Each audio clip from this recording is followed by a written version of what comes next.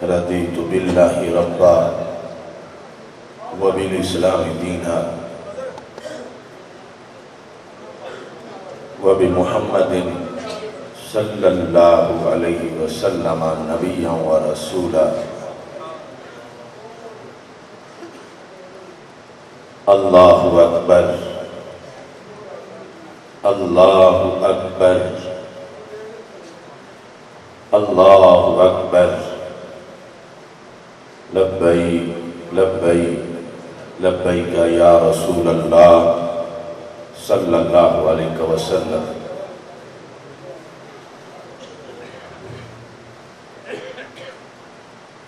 الحمد لله رب المشرقين والمغربين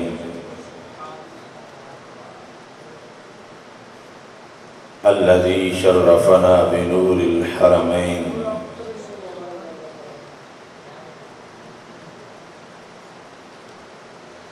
والصلاة والسلام على حبيبه وسيلتنا في الدارين. الذي من قال الحسين مني وأنا من الحسين. وعلى آله وأصحابه في الدارين. أما بعد فأعوذ بالله من الشيطان الرجيم. بسم الله الرحمن الرحيم. قل لا أسألكم عليه أجرا إلا المودة في القربى.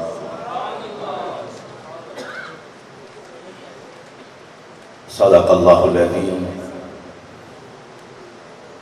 وصدق رسوله النبي الكريم الأمين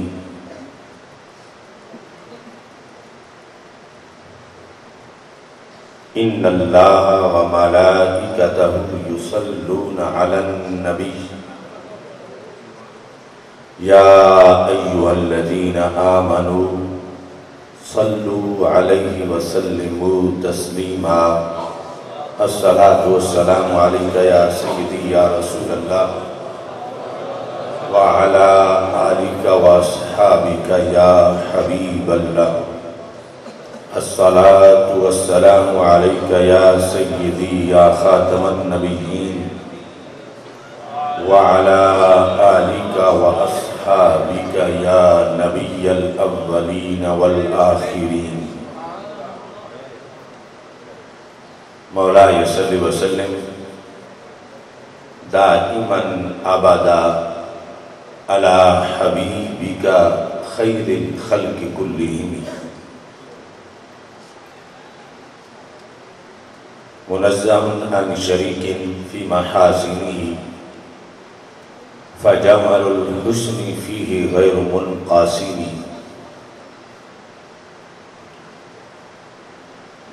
محمد تاج رسل الله قاطبة. محمد صادق الأقوال والكلم. محمد ذكره روح لأنفسنا. محمد شكره فرد على الأمم.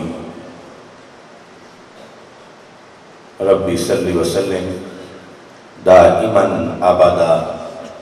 على حبيبك خير الخلق كلهم.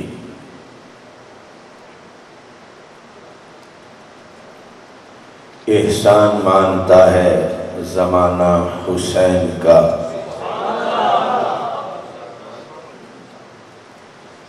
احسان مانتا ہے زمانہ حسین کا۔ حور و ملک نے گایا ترانہ حسین کا۔ اب بھی سخی کے ہاتھ کی دھومیں ہیں چار سو۔ اب بھی سخی کے ہاتھ کی دھومیں ہیں چار سو۔ صدیوں سے بٹ رہا ہے خزانہ حسین کا۔ جس کے قصیدے آیت تطہیر نے پڑھے۔ جس کے قصیدے آیت تطہیر نے پڑھے۔ ایسا بنایا رب نے گھرانہ حسین کا۔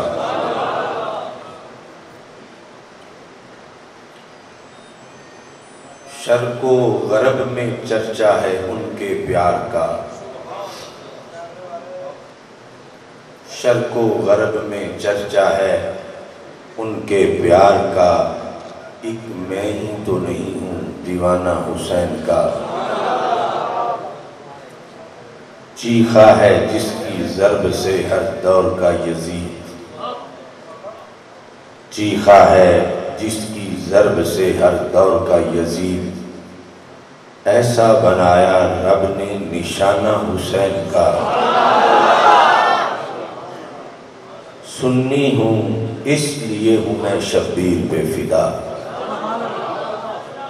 سنی ہوں، اس لیے ہوں میں شبیر پہ فدا۔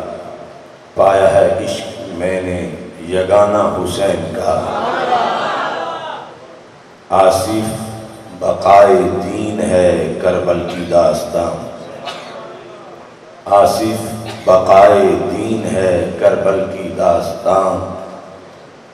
یہ فیض بٹ رہا ہے روزانہ حسین کا۔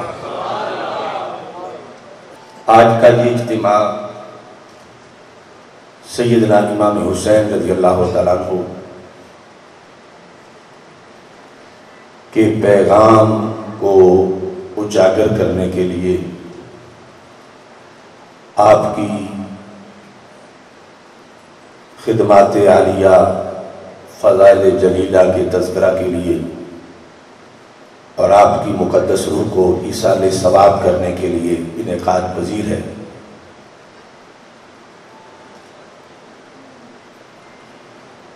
اس لحاظ سے عصر حاضر میں سیدنا امام حسین رضی اللہ تعالیٰ عنہ کے مشن کا ایک سبق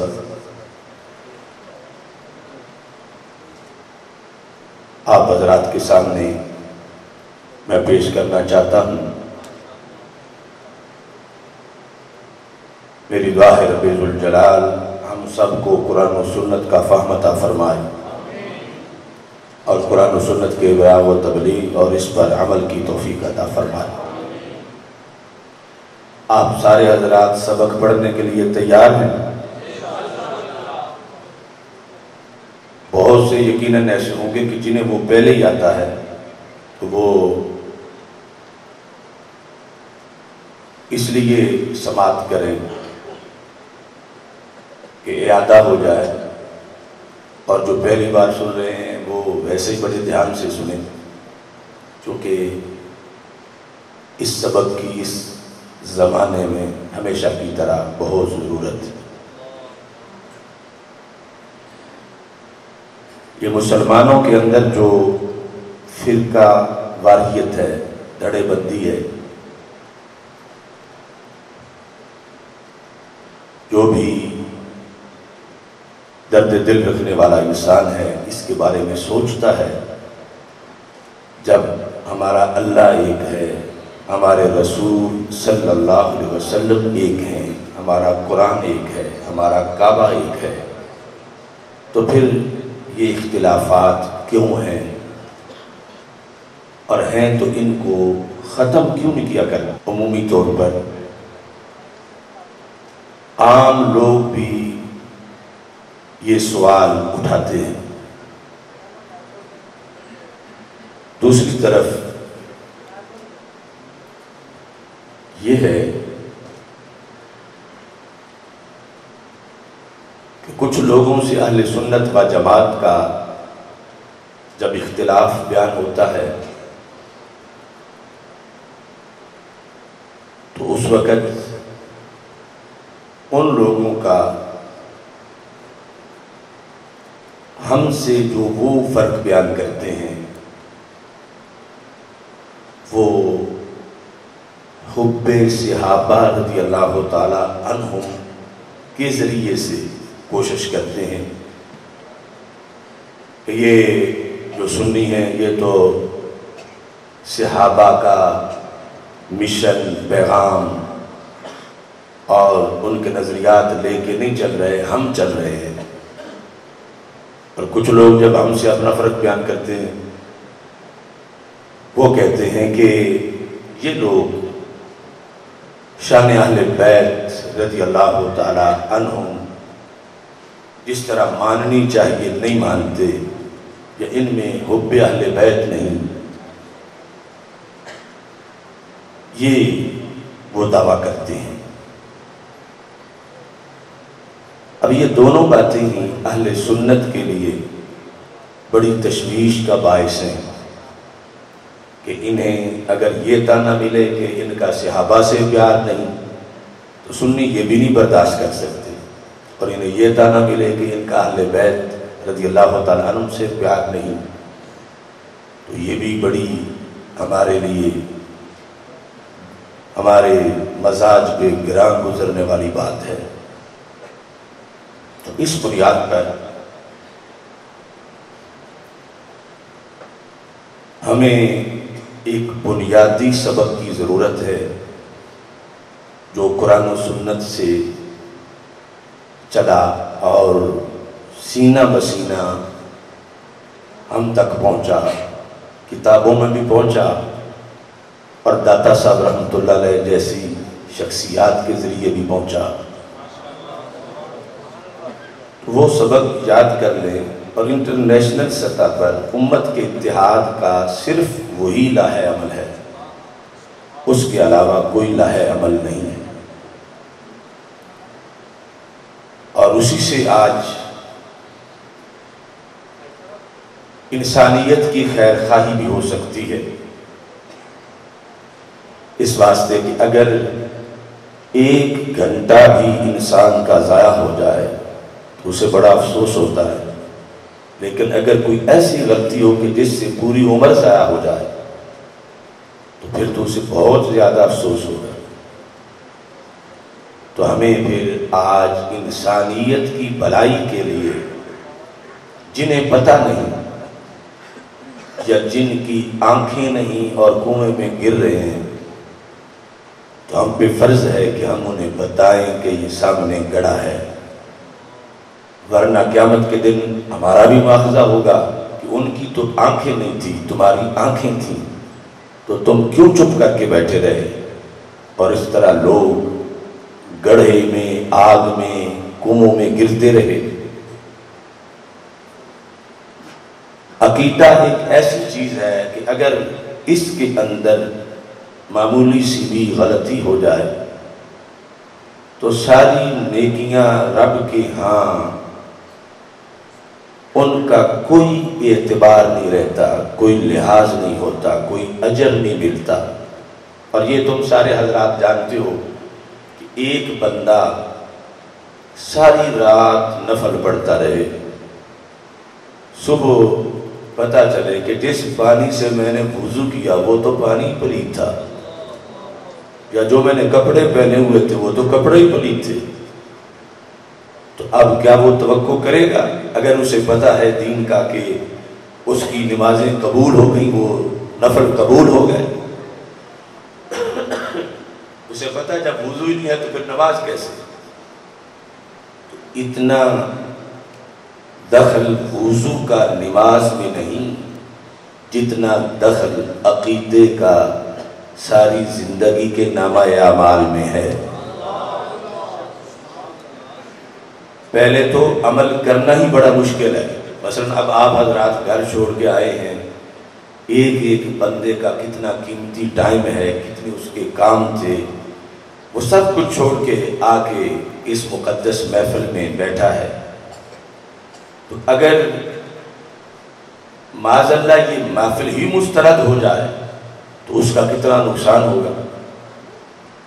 تو پوری زندگی راتوں کو اٹھ اٹھ کے نمازیں پڑھنا دن کو روزے رکھنا، حج کرنا، جہاد کرنا، زکوٰۃ دینا اور پوری زندگی تقوی اور پارسائی کے اندر گزارنا بڑا مشکل ہے۔ لیکن وہ گزری ہوئی قیامت کے دن فائدہ تب دے گی جب پہلے عقیدہ سے ہی ہوگا۔ اور عقیدے میں اگر معمولی سی غلطی بھی آ گئی یوں سمجھو جیسے شیشے کا برتن ہو، اسے روڑا اینٹ لگ جائے، دراڑ پڑ جائے۔ اس میں پڑ بہت کچھ رہا ہو، لیکن سب کچھ اس دراڑ سے نکلتا جائے۔ اور آخری گھڑی میں ایک قطرہ بھی نہ ہو اس کے اندر۔ تو سب کچھ اس میں جانے کا فائدہ کیا ہوا؟ کہ جب جا رہا ہے دنیا سے تو خالی ہاتھ جا رہا۔ اس بنیاد پر عقیدہ صحیح رکھنا اور پھر اس کی حفاظت کرنا۔ یہ انسان کی کامیابی کے لیے سر فہرست ہے۔ کیونکہ عمل میں تو معافی کا چانس ہے کہ رب معاف کر دے، رسول پاک صلی اللہ علیہ وسلم سفارش فرمائیں، اللہ کا کرم ہو جائے۔ مگر عقیدے کے لحاظ سے جو خطائیں ہیں اسلام کے بنیادی عقائد کے لحاظ سے وہ غلطیاں معاف نہیں ہوتی۔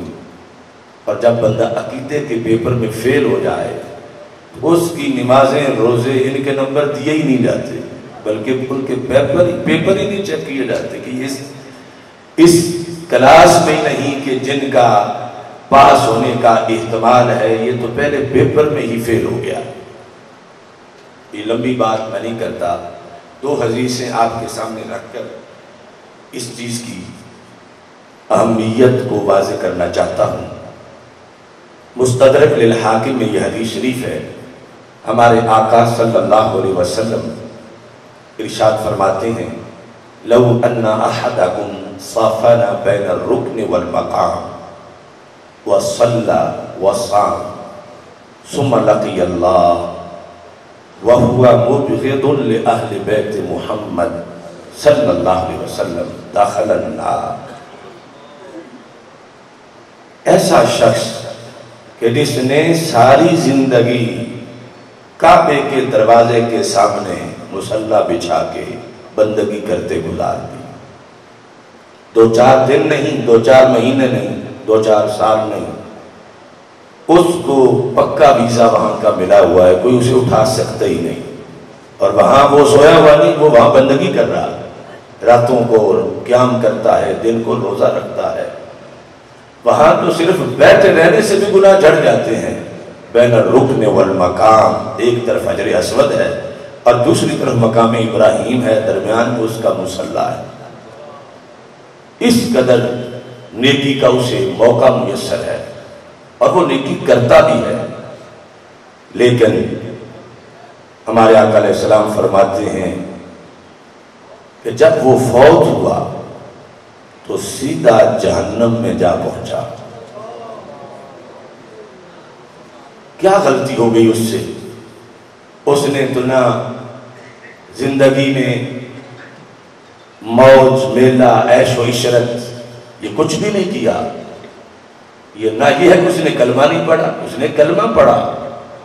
کلمہ پڑھنے کے بعد اس نے زندگی بھر نیک کام کیے۔ لیکن جب مرا تو اس کو نہ کلمے کا فائدہ ہے، نہ نماز کا، نہ روزے کا، نہ حج کا، نہ زکوٰۃ کا، نہ مقامی ابراہیم کا، نہ حجر اسود کا، نہ کعبے کی تجلیات کا۔ سیدھا جہنم میں جا گرا۔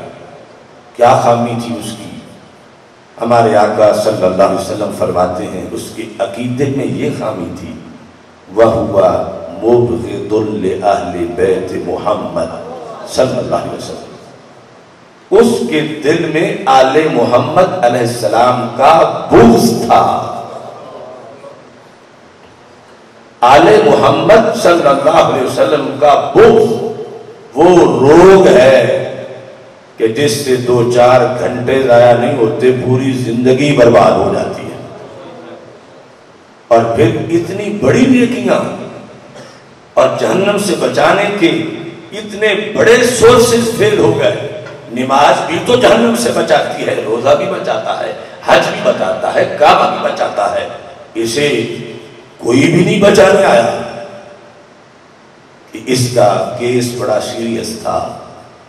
اس کے دل میں بغض آل نبی صلی اللہ علیہ وسلم تھا۔ تو رب الجلال نے اس کو، اس کی کسی عمل صالح کا ثواب نہیں دیا۔ تو ہمارے آقا علیہ السلام چونکہ امت پر کروڑوں ماؤں سے بھی زیادہ شفقت کرنے والے ہیں، تو آپ نے چاہا کہ میری امت کا کہیں ٹائم ضائع نہ ہو، کہیں زندگی خراب نہ ہو میری امت کے علماء انہیں اس بات پر مطلع کریں کہ عقیدے کی روزانہ تلاشی لیتے رہو اگر کہیں کوئی چور گھس گیا دل کے اندر تو نماز روزہ حج کا سب کچھ رہنا ہو جائے گا۔ تو یہ روزانہ نمازیں پڑھنی بھی ہیں اور ان کے محفوظ رہنے کے عقیدے کا بھی لحاظ کرنا ہے اور عقیدے میں دیکھنا ہے اگر کوئی سکم ہے تو پھر آج لے ان کی بنا آج مدد مانگ ان سے۔ کل نہ مانیں گے قیامت کو اگر مان گیا اسی مستدرک للحاکم میں دوسری حدیث ہے۔ اور یہ اہل سنت کو رب نے خصوصی فضل سے نوازا ہے کہ ہمارا عقیدہ ہی وہ ہے کہ ہمیں جو بھی حدیث سنے خوشی ہوتی ہے۔ کیونکہ ہمارے خمیر اور ضمیر میں کوئی ایسی چیز نہیں کہ ایک طرف سے خوشی ہو، دوسری طرف سے چہرہ مرجھا جائے۔ یہ کیا ہو گیا ہے؟ یعنی جب باقی بندے کو لگے کہ یہ تو میرے خلاف ہے فیار کٹ رہی ہے، تو پھر وہ کس منہ سے منہ سے سبحان اللہ کہے؟ وہ تو پریشان ہو جائے گا کہ یہ کیا ہو گیا۔ تو مستدرک للحاکم میں ہمارے آقا علیہ السلام کی حدیث ہے فرما، ان اللہ اختارانی. رب نے ازل سے جب چناؤ کیا کہ میرا محبوب کون ہونا چاہیے، تو سرکار فرماتے ہیں، رب نے اپنے حبیب کی حیثیت سے ازل میں ہی مجھے چن لیا۔ اختارانی، رب نے مجھے چنا۔ اب رسول اکرم صلی اللہ علیہ وسلم جب اللہ کے حبیب ہیں اور منفرد ہیں اور کوئی اس مرتبے پر نہیں، محبت تو رب سرکار کے غلاموں سے بھی کرتا ہے، لیکن منصب حبیب خصوصی طور پر ہمارے آقا علیہ السلام کا ہے نبیوں میں سے بھی یہ آپ کا مقام ہے۔ تو پھر رب نے اس منصب کے لیے بڑے اہتمام کیے۔ ان اہتماموں میں سے اس حدیث میں جو ایک اہتمام کا ذکر ہے، وہ یہ ہے یہ نہیں کہ صرف یہی اہتمام ہے۔ ایک یہ ہے فرما جب رب نے مجھے چنا، وَاخْتَارَ لِي أَصْحَابًا۔ رب نے ازل ہی میں میرے یاروں کو بھی چن لیا۔ یعنی اس بیس پر کہ میں اللہ کا حبیب ہوں۔ تو رب کے حبیب کا مقام یہ ہے کہ پھر اس حبیب کے یار بھی رب ہی چنے۔ کہیں کوئی کھوٹ والا نہ آ جائے۔ کہیں کو بدلنے والا نہ آ جائے، کہیں کو بے وفائی والا نہ آ جائے۔ تو سرکار فرماتے ہیں، رب نے میرے یار خود ہی میرے لیے چن لیے۔ وقتار علی اصحابہ رب نے میرے لیے میرے صحابہ کو چنا۔ یعنی پہلی حدیث اہل بیت اتحاد رضی اللہ تعالیٰ عنہ کے لحاظ سے۔ جیسے سن کے سنی کو خوشی ہو رہی ہے، ایسے ہی اس حدیث سے بھی خوشی ہو رہی ہے۔ کیونکہ ہمارے دل میں اللہ کے فضل سے وہ رب نے نظام بخشا ہے کہ ہم کسی کے بھی چور نہیں۔ وَاخْتَارَ لِي فرما، میرے لیے اللہ نے میرے صحابہ کو چنا۔ اب یہ سرکار نے کیوں اعلان کیا؟ اس میں کوئی شک نہیں کہ اہل بیت اتحاد بھی رب ہی نے چنے۔ لیکن ضروری طور پر یہاں یہ اظہار اس لیے سمجھا کہ آل کو تو ظاہر ہے کہ کوئی بھی عقل مند غیر نہیں کہے گا۔ وہ تو میری آل ہی ہے اصحاب کے بارے میں یہ ہو سکتا ہے کہ لوگ سمجھے چلو ان کی خیر میرے کوئی نہیں، اگر ان کے خلاف بول بھی لیں تو کوئی بات نہیں۔ تو سرکار نے فرمایا، اذا ذکر اصحابی فام سے ہو میرے صحابہ کی بات آئے تو منہ سوال کے بولو۔ کیوں؟ میں نے نہیں چنے۔ اگر میں نے بھی چنے ہوتے، تو جس نے کل قیامت کے دن مجھے ملنا ہے، تو وہ میرے چناؤ پر اعتراض کیوں کرے؟ اور جس نے مجھ سے جامع کوثر پینا ہے۔ یہاں تو میں نے چنے ہی نہیں، میرے رب نے چنے ہیں۔ لہذا فرمایا، مجھ سے برداشت نہیں ہوتا کہ میرے اللہ پر کوئی تنقید کرے، کہ صحابہ پر تنقید مجھ پہ ہی نہیں، اللہ پر بھی تنقید ہے۔ کہ جب کسی بھی صحابی کے بارے میں کوئی بندہ بولتا ہے، تو اس کا مطلب کیا بنتا ہے؟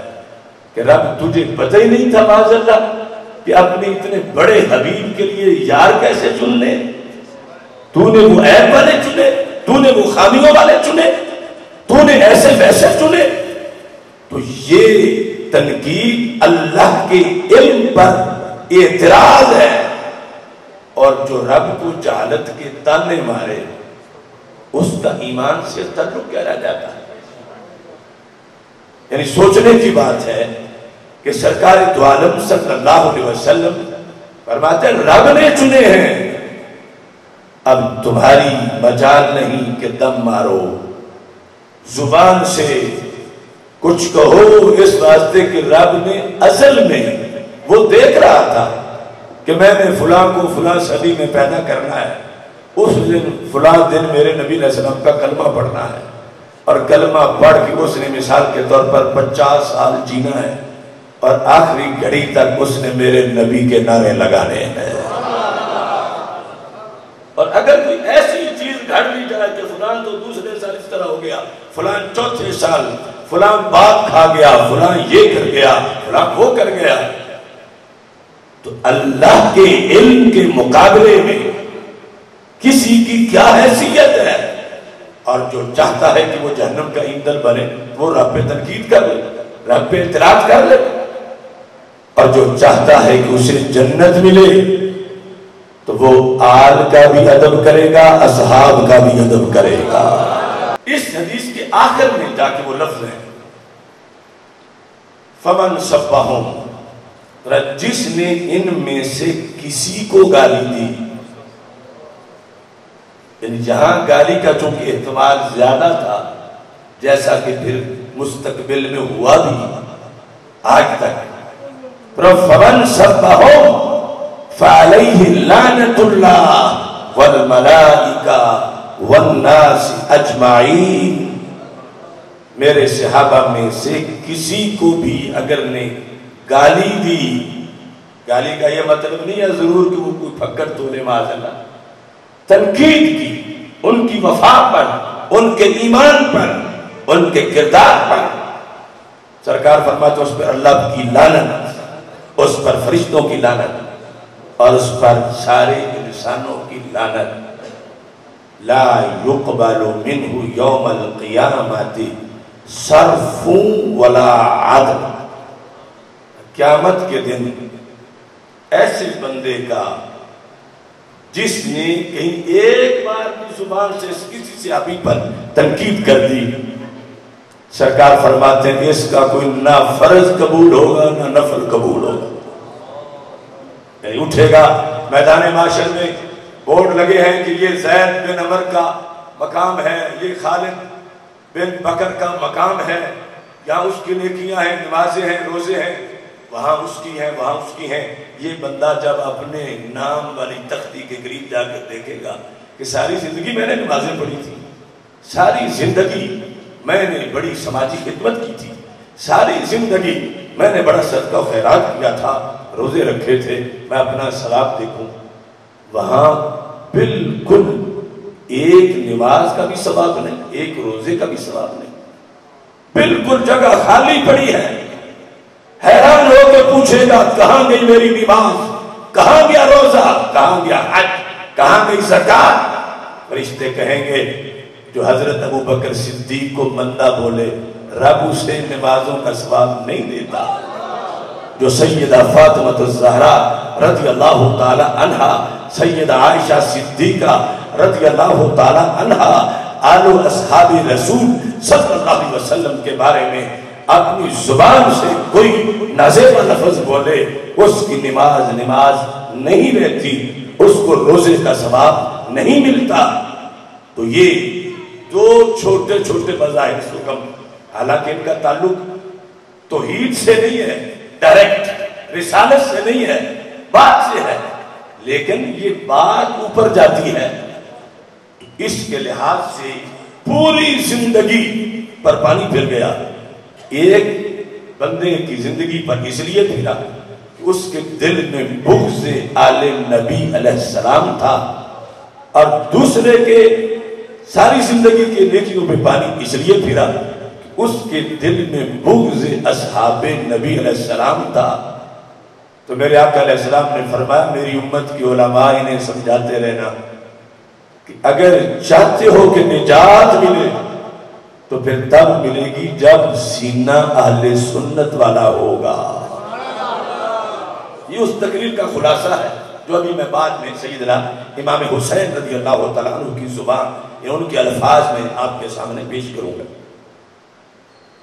اب یہ کسی پر الزام نہیں اتحام نہیں، کسی کو تانا نہیں کہ فلاں اس طرح کرتا ہے، وہ خود گواہ اس طرح کرتے ہیں۔ یعنی ایک طرف کا ٹولہ، انہیں صحابہ کے نام سننے تک برداشت نہیں۔ دوسری طرف کے جو ہے وہ یزید کے قصیدے پڑھتے ہیں اس پلید کے، اور امام حسین اور اہل بیت اتحار رضی اللہ تعالی عنہم کے لحاظ سے ان کے سینے بغض سے بھرے ہوئے ہیں۔ اب یہ تو وہ خود گواہ ہے ہم تو انہیں کو کوئی الزام نہیں دے رہے۔ ہاں ہم دعوت دے رہے ہیں۔ آج لے ان کی پناہ۔ آج مدد مانگ ان سے۔ کل نہ مانیں گے قیامت کو اگر مان گیا کہ جس بیس پر نجات ملنی ہے، وہ یہ ہے کہ سینہ کوئی ایسا لو جس میں سرکار کی ہر نسبت کا ادب ہو۔ ایسا سینہ بنواؤ کہ جو آل کی محبت سے لبریز ہو، تو صحابہ کے نام سے بھی اسے الرجی نہ ہو۔ صحابہ کا پیار ہو تو آل کے ادب سے بھی اسے تکلیف نہ ہو۔ وقت دونوں محبتیں سینے میں موجود ہوں تو یہ سمجھا جائے گا کہ یہ کسی پرائیویٹ چیز کا پیار نہیں رکھتا، یہ اللہ کے نبی کا حقیقی پیار رکھتا ہے۔ یہ بات بڑی قابل غور ہے۔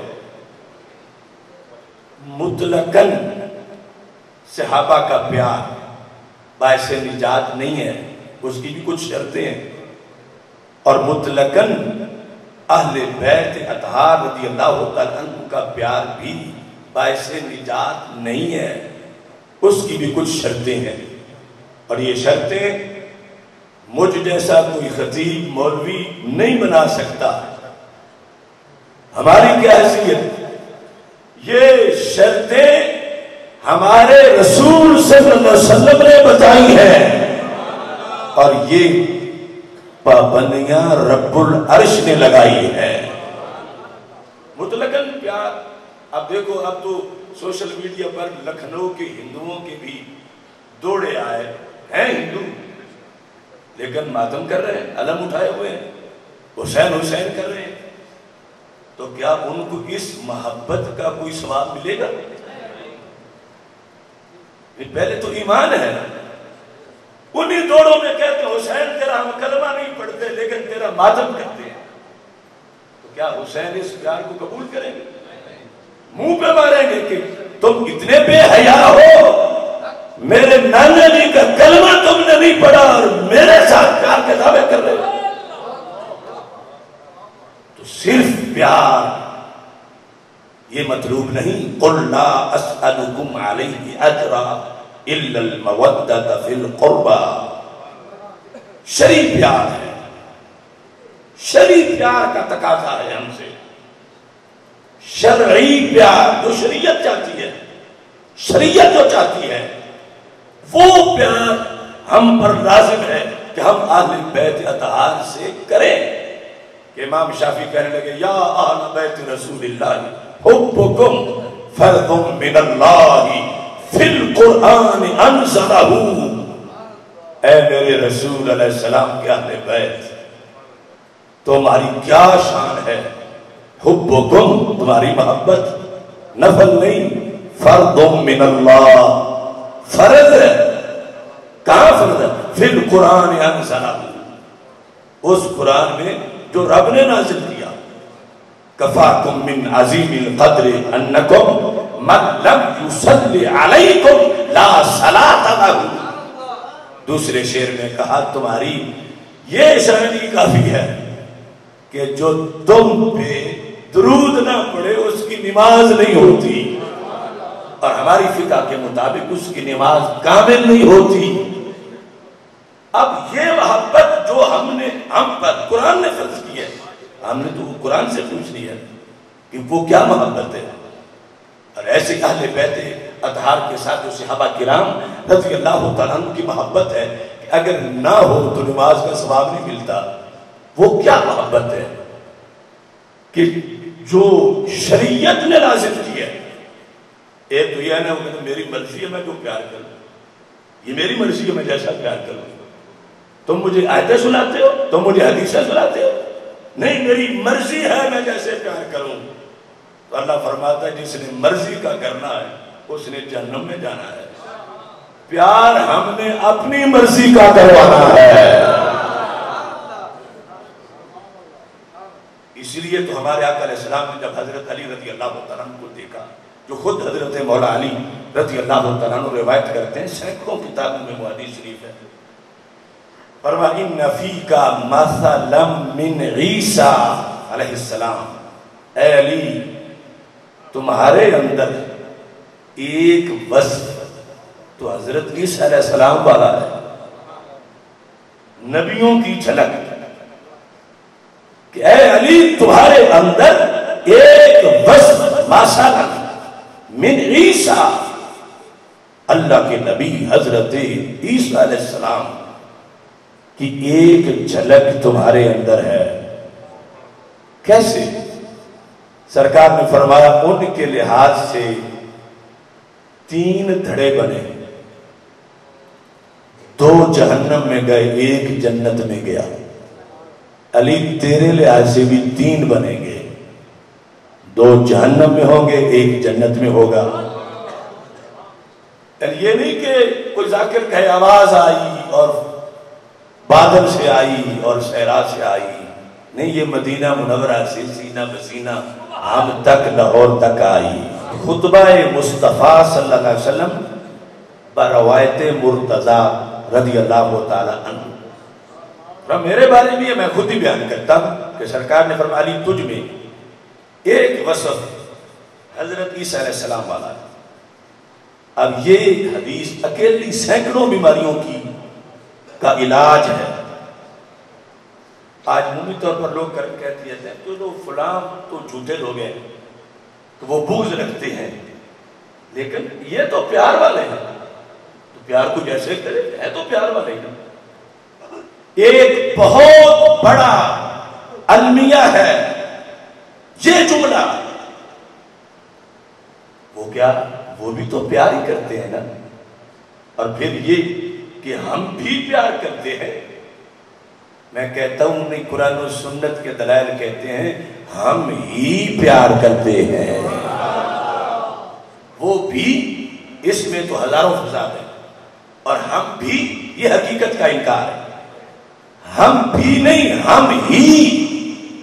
کیونکہ پیار سے مراد تو ہم نے شریف پیار لینا ہے پرائیویٹ پیار نہیں لینا شریف پیار۔ مطلقاً حضرت علی رضی اللہ تعالیٰ کو سرکار سے ہمیں پیار کی ڈیفینیشن کہ شریعت کون سی محبت چاہتی ہے؟ نہ تجھ میں اے علی، ایک وصف حضرت عیسیٰ علیہ السلام والا ہے۔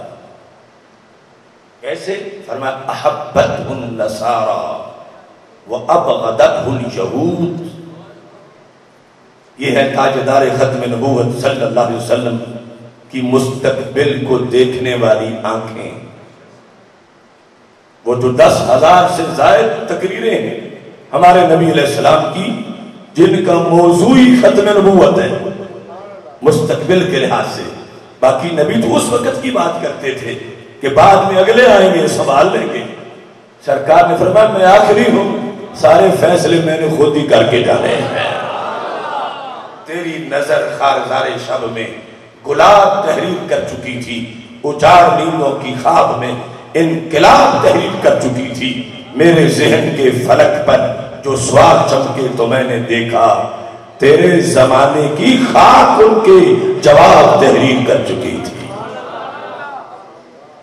فرما حضرت عیسیٰ علیہ السلام کے بارے میں ایک دھڑا نصارہ کا جو اب کرسچن کہلاتے ہیں۔ یہ حضرت عیسیٰ علیہ السلام کے لحاظ سے جنمی کس طرح بنے؟ پیار کا کارڈ استعمال کرنے کی وجہ سے۔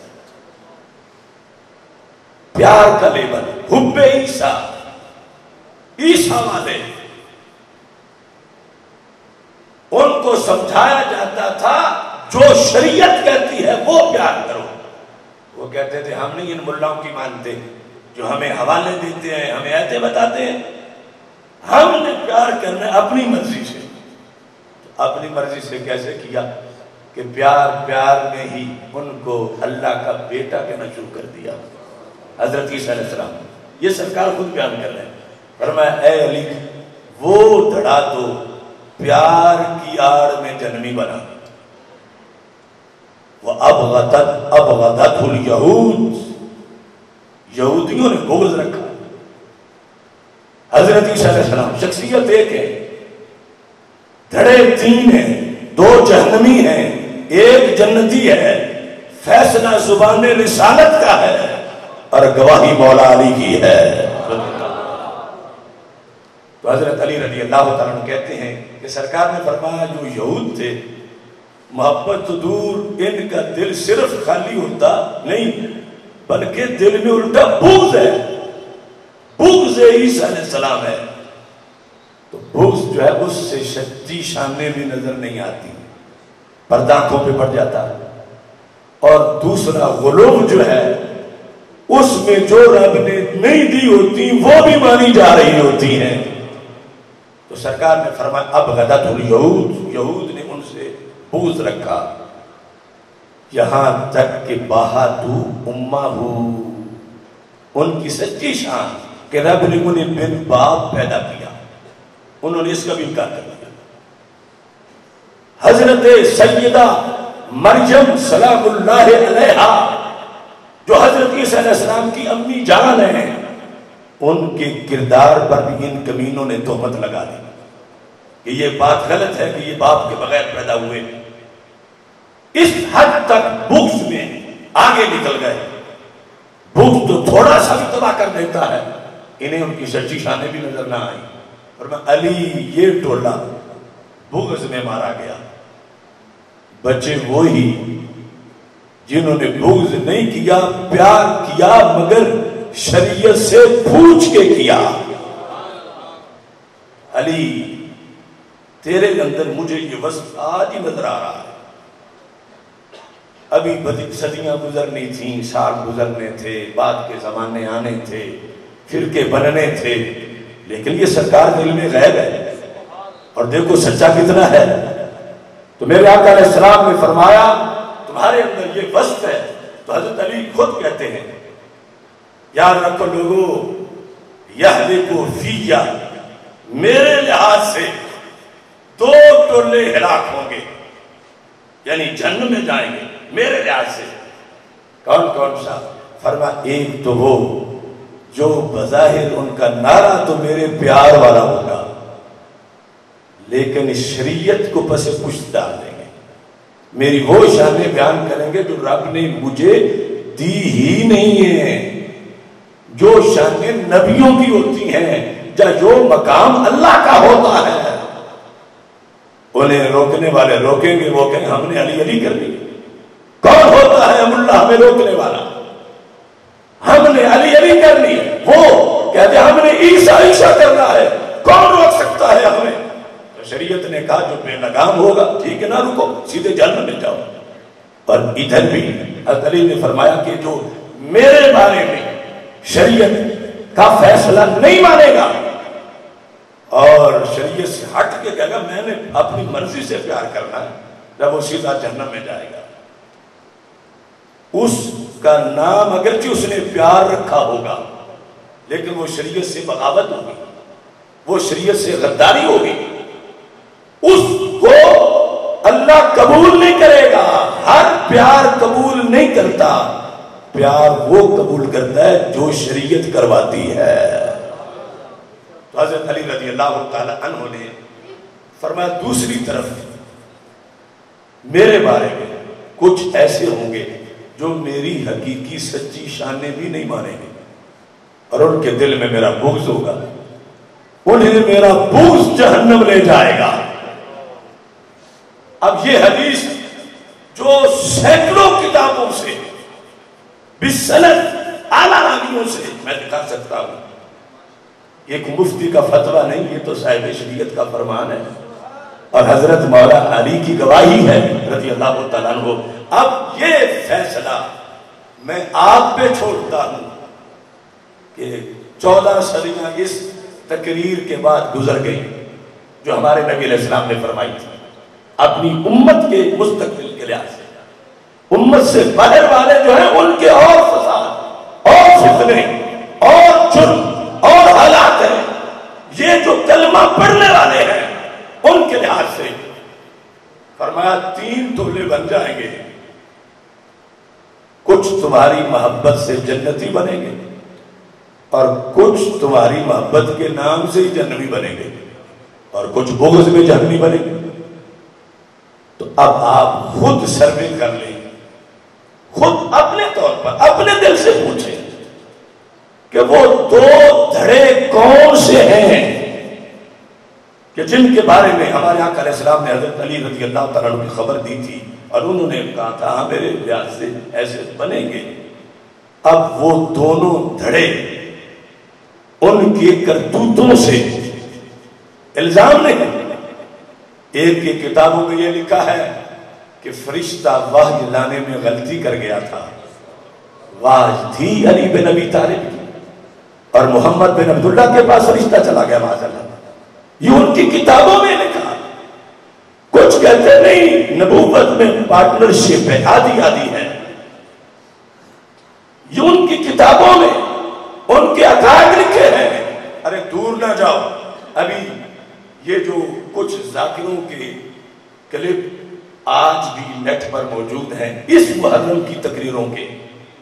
وہ ہم بات دورا نہیں سکتے کہ جس میں حضرت امام حسین کا حضرت محمد الرسول اللہ صلی اللہ علیہ وسلم سے تقابل کرتے ہوئے وہ مجمع عام میں سرکار کو گٹا رہے ہیں اور امام حسین کو بڑھا رہے ہیں۔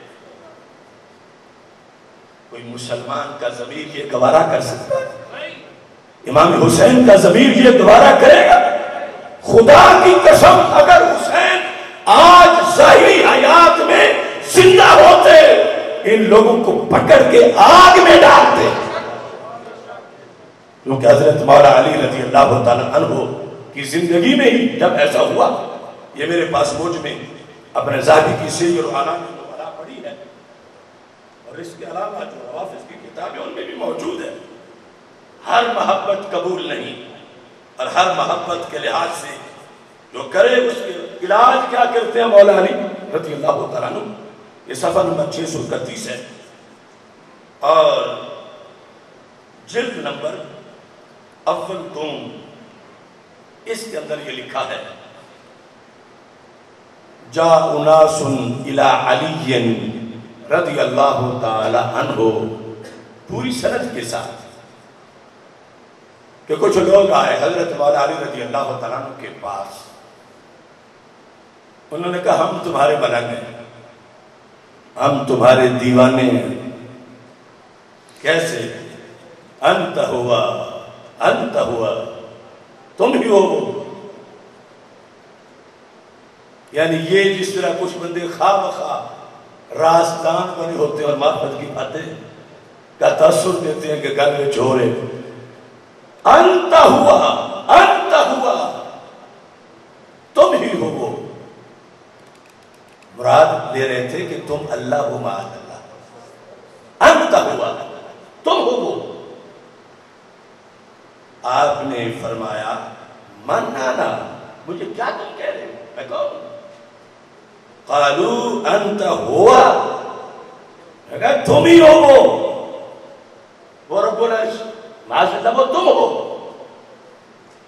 قال ویلکم. آپ نے فرمایا تیسری بار تباہ ہو جاؤ. بتاؤ میں کون ہوں؟ من اب وہ جو ہوا ہوا کہہ رہے تھے بول پڑے. قالو انت ربنا. تو ہمارا رب ہے. یہ سرکار نے پہلے دیکھا۔ اور آج تک جو کچھ ہو رہا ہے۔ انت ربنا ماشاء اللہ تو ہمارا رب ہے۔ تو حضرت مولا علی رضی اللہ تعالی عنہ نے کہا، ارجو، لوٹو، باز آ جاؤ، رجوع کرو۔ ایسا نہ کہو۔ اب دیکھو نا، آج ہم جب قرآن سنت کسی کے سامنے رکھے، وہ کہ اس کو کوئی بیماری ہے؟ تو کیا مولا علی خود اپنی تعریف نہیں چاہتے تھے؟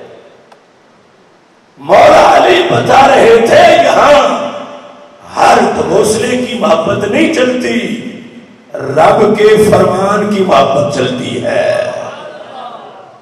آپ نے جب انہیں کہا، اس سے رجوع کرو تم، جو تم کفر پکڑے ہو۔ فَأَبَوْ انہوں نے انکار کر دیا۔ انہوں نے کہا کہ یہ پیار ہے۔ ہم انکار نہیں کر سکتے۔ ہم نہیں ہم باز نہیں آئیں گے اور آج ہم جیسوں کے کہنے پہ کیسے باز آئے؟ جو مولالی کے کہنے پہ باز نہ آئے۔ انہوں نے کہا کون روک سکتا ہے ہم کو؟ ٹھیک ہے، تم روکتے رہو، مگر ہم نے کہہ نہیں ہے، کیونکہ آپ کی حقیقت یہ۔ اور جو رواسس کی کتابوں میں ہے، وہ یہ بھی ہے کہ جب پکڑ کے حضرت مولا علی ان کو آگ میں گرانے لگے تو انہوں نے کہا پہلے کچھ کچھ شک تھا۔ اب تو یقین ہو گیا کہ تم ہی اللہ معاذ اللہ۔ کیوں؟ وما يعذب بالنار الا رب النار۔ آگ کا عذاب صرف اللہ دیتا ہے۔ اور تم ہمیں آگ کا عذاب دے رہے ہو۔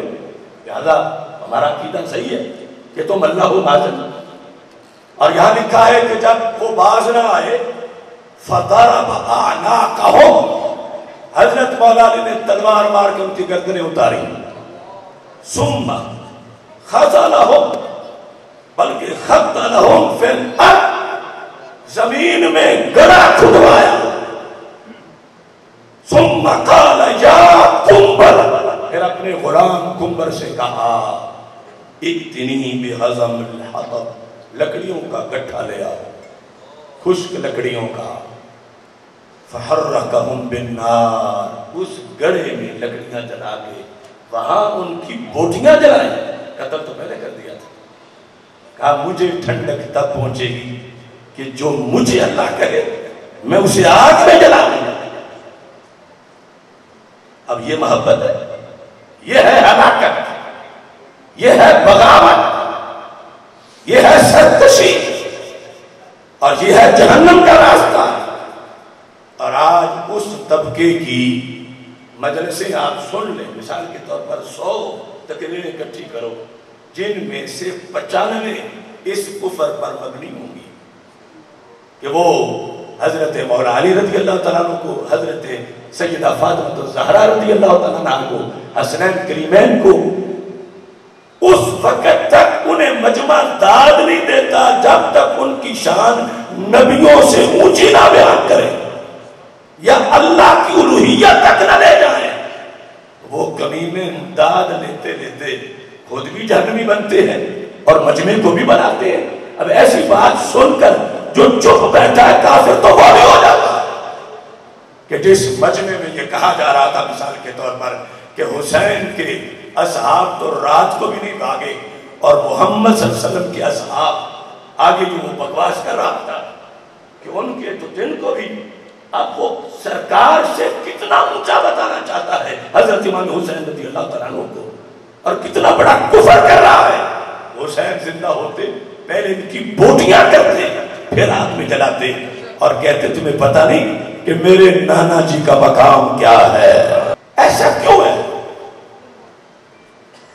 ایک طرف وہ ٹولہ جو حضرت مولا علی رضی اللہ تعالی عنہ کا جو منبع ولایت ہونے کا منصب ہے اور سلاسل طریقت ہونے کا محور ہے اور وہ جو خلیفہ راشد ہے، ان کی خلافت راستہ میں چوتھے نمبر سے ان کا نام کاٹ کر علی، حضرت علی رضی اللہ تعالیٰ کا چوتھے نمبر سے جو ان کی شان ہے خلیفہ چہارہ بولا۔ ان کو وہ بھی برداشت ہے جب اس فتنے کا پاکستان کے اندر ایک طوفان بدتمیزی بجا ہوا تھا، تو کتنی مسجدوں میں انہوں نے مولا علی رضی اللہ تعالیٰ کا چوتھے نمبر سے بھی نام مٹایا۔ اور اپنا گھر عقیدہ جو اس کا اظہار کیا، اس یہ سب کیوں ہے؟ کہ جو بھی شری محبت نہیں کرتا خاص سیابہ سے شری نہ کرے خواہ سے شری نہ کرے، وہ جنمی بنتا ہے۔ اور سنیوں، تمہیں مبارک ہو۔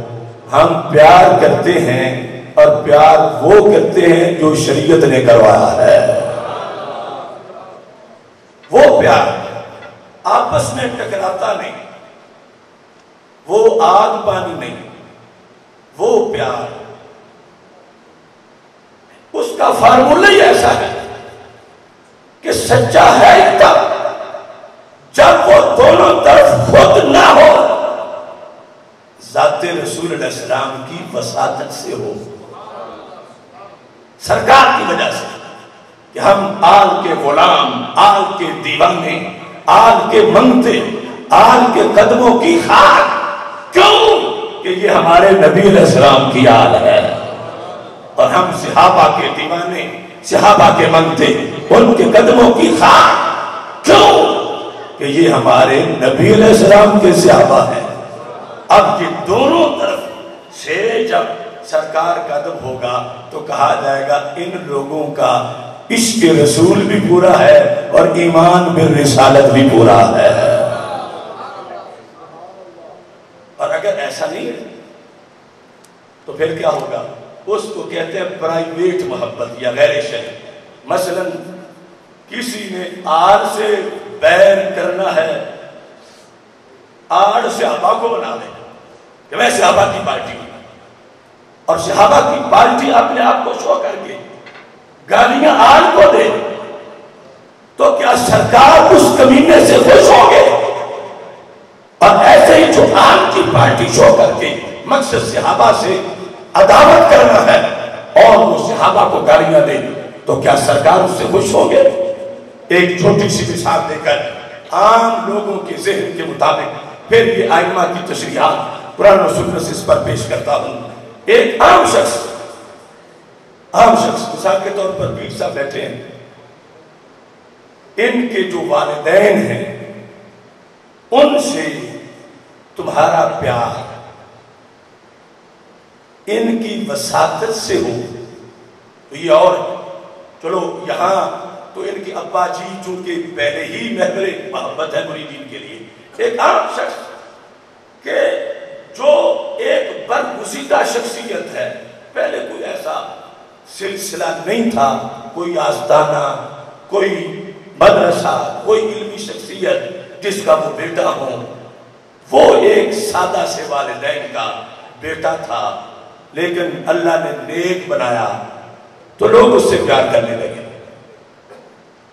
اب اس کے پیار سے اب یہ میں جو مثال دے رہا ہوں، اوپر کی نہیں ہے، وہاں اور بات ہے۔ یہ میں ایک چھوٹی سی مثال دے کر تمہیں ذہن اس جگہ لے جانا چاہتا ہوں کہ وہاں تم خود فیصلہ کر سکو۔ اب اس بندے سے جو پیار کرنے والے ہیں، وہ یقیناً اس کے باپ سے بھی پیار کریں گے۔ اس کی ماں سے بھی عقیدت رکھیں گے۔ کس وجہ سے؟ کس کی وجہ سے؟ کہ یہ ہمارے استاد صاحب ہیں، یہ میرے پیر صاحب ہیں۔ یہ مجھے نیکی کا رستہ دکھانے والے ہیں۔ لہذا ان سے پیار ہے تو ان کی ماں سے بھی ہے، ان کے باپ سے بھی ہے۔ یہ ہے اس پیار کی طرح جس کو ہم اوپر جا کے نام دیں گے شریعت کے کہنے پر شریف پیار۔ شریف پیار۔ دوسرا کیا ہے؟ کہ اس کے والد اور اس نیک بندے کی والدہ جو دو جدا جدا خاندانوں سے ہیں۔ والد کے خاندان کے لوگ دشمنی کرنا چاہتے ہیں والدہ کے خاندان سے۔ اور والدہ کے خاندان والے دشمنی کرنا چاہتے ہیں والد کے خاندان سے۔ تو وہ ایک ٹولہ جو ہے وہ بھی پیار کا دعویٰ کرتا ہے۔ دوسرا بھی پیار کا دعویٰ کرتا ہے کہ ہم اس بندے کے بڑے محب ہیں، بڑے دیوانے ہیں۔ اور جب اس کے باپ سے اس کی وجہ سے پیار نہیں کرتے، اپنے مقاصد ہیں ان کے پرائیویٹ اس وجہ سے پیار کرتے ہیں۔ تو اب یہ جب جلسہ کریں گے اس کے باپ کی فضیلت کا، تو اس میں یہ باز نہیں آئیں گے، ماں کے خاندان پر تنقید کرنے۔ چونکہ ان کا اصل مقصد اندر وہ ہے۔ باپ کے ساتھ پیار تو انہوں نے آڑ بنایا ہوا ہے۔ چونکہ اس شخصیت کی وجہ سے ہو، تو جس کا باپ عظیم ہے، اس کی ماں بھی عظیم ہے۔ اور دوسری طرف جو ماں والے ہیں، صرف اس کی وجہ سے نہیں کرتے، ویسے ماں کے ہمی بن کے ویر اپنا پورا کرنا چاہتے ہیں۔ تو وہ جب بھی جلسہ کریں گے اس بزرگ کی محبت کا، تو اس کی امی کی فضیلت پوری ہوگی نہیں جب تک باپ پہ حملہ نہ کرے۔ ماں تو بہت کیا رابعہ بسری ہے، لیکن باپ اس کا بچال ہے۔ اور جب باپ والے کریں گے، کہیں گے باپ تو کیا شان ہے، ماں بڑی انپڑھ ہے، چگڑوں کی ہے۔ اب اس شخص کو جب یہ تقریریں پہنچیں گی دونوں طرف کی۔ تو کیا اس کا دل ٹھنڈا ہوگا وہ کہے گا کہ یہ کمینے یہ جلسہ نہ کرتے تو میرا دل ٹھنڈا تھا۔ میری امی پر تانے دے کر میرے ابے کے فضائل بیان کرنے والے اور میرے ابے پر تنقید کر کے میری امی کی فضائل بیان کرنے والے، یہ ہر کس مجھے ان کی محبت قبول نہیں۔ یہ جھوٹے ہیں۔ کیونکہ میری وجہ سے نہیں کر رہے، ان کے اپنے مقاصد ہیں۔ اگر میری وجہ سے کرتے ہوتے، تو ایک زبان میں میرے ابے کا نام لیتے، دوسری بھی فوراً میری امی کی تعریف کرتے۔ مجھے خوش کرنا تھا تو۔ تو یہ اپنے مقاصد لیا پھرتے بلا تشبیح و تمثیل۔ حضرت محمد مصطفیٰ صلی اللہ علیہ وسلم۔